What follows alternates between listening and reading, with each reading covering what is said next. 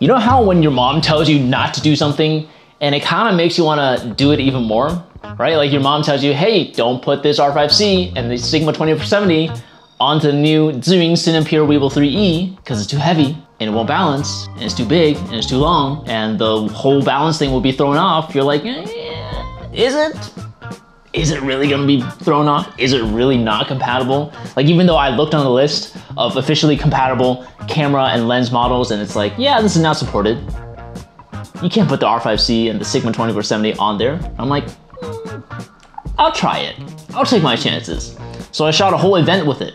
Um, and uh, here's how it went. So over the weekend, we had an event to shoot. It was at Cinegear with SmallRig, and we were shooting their video for their highlight video recap of the event. Uh, and we used the 3E along with the Canon R5C to shoot for the whole six hour day. Fun fact was that uh, when I first got this gimbal, I really thought that I could put the Canon R5C and the Sigma 2470 onto this gimbal because um, I was using the I'm using the Canon C70 and that thing is a big boy and that would definitely not fit probably on this gimbal. I kind of want to try it though. But yeah, it probably won't fit on this gimbal. So I was like, let's go smaller. Let's go, let's take the R5C. And I rented one out and I put that camera on this gimbal and I found out you actually can't balance it. Like you physically can't balance it onto this gimbal because the eyepiece in the back of the camera, it hits the back of this pan, tilt, roll axis thing. It just doesn't balance. So uh, I balanced it as much as I could, um, but just keep in mind that with the Canon R5C setup, it's still improperly balanced. Like there's no way to actually balance the whole gimbal. And then really quick, let's just go over the specs. I'm gonna put it right here.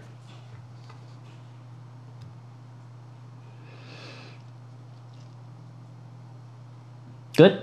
Cool? Yeah? All right, cool. So even though that the Canon R5C was not able to properly balance onto this gimbal, it actually performed incredibly well. Like all the shots were super smooth. I was actually kind of surprised. Like I knew it wasn't balanced properly and uh, when I was using it, like I was panning, I was kind of tilting, I was doing the follow mode, um, it was surprisingly smooth. One thing that I've always loved about the Zhiyun gimbals is how this trigger button in the front is reprogrammable. That's one unique thing that I really love about this. So you can reprogram this to be like the follow uh, mode. You can go into the POV mode, the vortex mode. You can change this up to be whatever you want to. So that gives you a lot more like flexibility so that I can easily go from pan follow mode, which is the kind of default that everyone uses or I use a lot. Wait, let me just, uh, let me just put this on here really quick.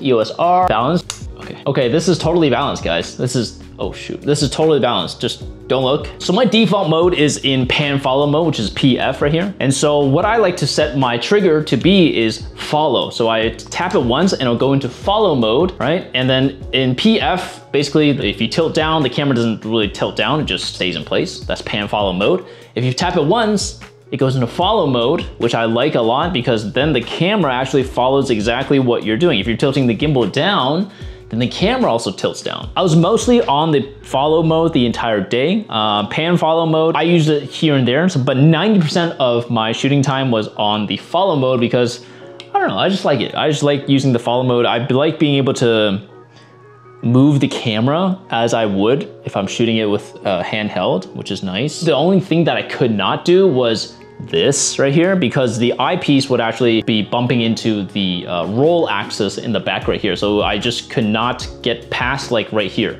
This was like the most I could maneuver in terms of like tilting the gimbal like that. Now, when I was shooting the event, I actually did not do any like crazy customizations into the onto the gimbal, like no algorithm changes like to the dead pan, the pan speed, or the follow speed or anything like that. So I just used it right out of the box, which was already really good. So it was very smooth. The reaction time of the gimbal was very fast. Uh, which I, in the future, I might actually lower that down just a little bit so it doesn't look too jerky. For me, I would like it to have a slower, little bit of a slower reaction. So if I turn here, it should have like a half second lag before it turns. The camera, if that makes sense. So for me, that I find that creates a bit more of a cinematic, more cinematic footage. Now coming from a bigger setup like the DJI RS3 Pro and the Canon C70, those are those are chunkier equipment. Those are chunkier gimbal and, uh, and a cinema camera. Coming from that and then going to something that's so small, like this thing fits on an A4 sized piece of paper when it's folded up. So it's very small and it's also really light. When I picked it up, I was like, huh, my shoulders aren't dying. My, uh, my, my wrists, my hands, my arms aren't dying. Like my back isn't dying. This is this is a nice little change of pace. This is nice. I can shoot on this for like hours and hours and hours. So in terms of battery life, I used up about maybe 50% of the battery on a six hour shoot. And again, this, this, this whole setup was not properly balanced. So the fact that it lasted that long for a six hour shoot, you know, uh, pretty good. So I would imagine if you had a lighter setup, if you actually properly balanced it, it should last you about 16 hours max um, of battery. So that's probably gonna cover pretty much all your shooting needs for the whole day. If you're shooting more than 16 hours, you're kind of crazy. I don't, I don't know. You got a long event or something. That's, that's kind of crazy. I really like this uh, OLED screen because when I was shooting, I found myself looking and checking to make sure how much battery life I had left and also which mode I was on. That was really important to be able to quickly see and glance at it and be like, okay, I'm in pan follow mode, I'm in, or I'm in follow mode. So that's nice. So if I click it, it will just show you F, which means follow mode. I click it again, it's gonna be pan follow mode. And then apparently there's a native portrait mode switch, which uh, it's like you can mount it vertically. I've never done it, and I probably won't ever use it on a, uh, on a gimbal. Um, but let's try it out. I'm gonna put this thing to sleep.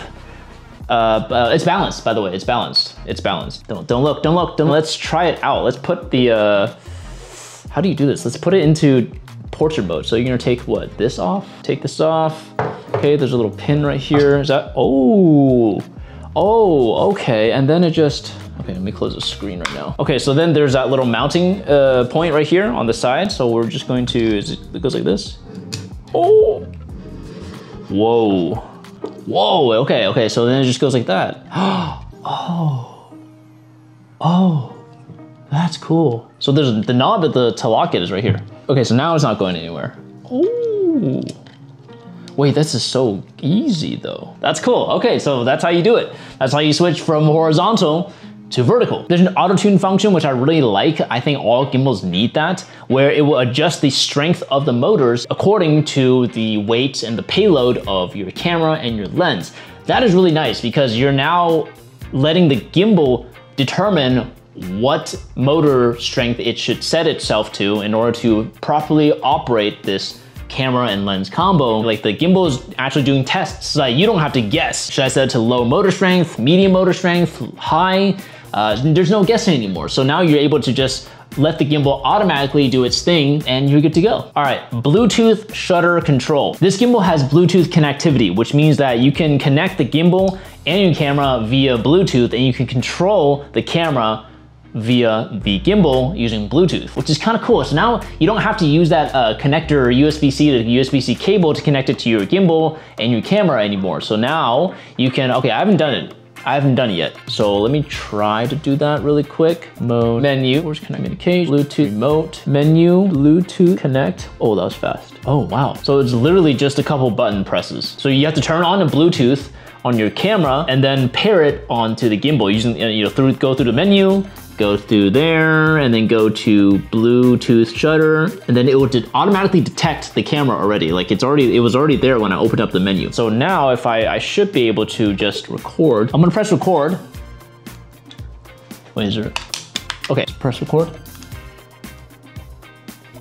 Whoa, it's actually recording. Whoa, that's cool. Oh, it also has like half press too on this on this button. Half press, to like focus or whatever, right? Now it's getting focus, full press it. You can, there's like a haptic feedback. There's like a, like a double pressing kind of thing. And then it actually records onto the camera. That's pretty cool. Okay, not bad. Okay, okay, Zhiyun, I see you. So one thing to note is that the Bluetooth on your camera is gonna drain the battery a little bit faster, so just kind of keep that in mind as you're using Bluetooth. Um, obviously the longest battery, the most battery saving option is to just connect it via the cable. But you know, if you don't like the cable, or if you don't have a cable, the Bluetooth functionality is also pretty nice. Oh, this is cool. One thing I would love to change is I would love to change this uh, whole part right here with the joystick and the two buttons right here, like just to the bottom, like below the uh, OLED screen right here. It's nice, it's fine, you know what I mean? Like I can, I can reach it with my thumb, but it's just a little awkward because I have to go over here a little bit. Like I've kind of have to reach a little bit in order to get to the joystick and the record button and the menu or the mode button right here. I would love it if it was like just down here where my thumb would naturally be. So I can just kind of like, right, go like that, operate joystick, press buttons and like that. Um, they have it on the older models, but minor thing. It's all, it's a minor thing. All right, so ultimately, who is this gimbal for? I recently had someone who was shooting real estate videos ask me, hey, what kind of gimbal should I get? Uh, I'm shooting with my phone right now, and I kind of want to upgrade to something a little bit bigger. I want to shoot on an actual camera and maybe get a gimbal so we can get better looking shots.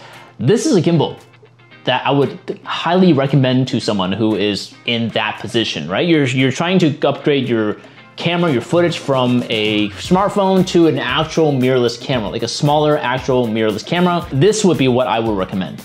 Uh, something budget, something nice and easy to use, uh, and it's very light and it's not very fatiguing. You can shoot for a long time. This is it.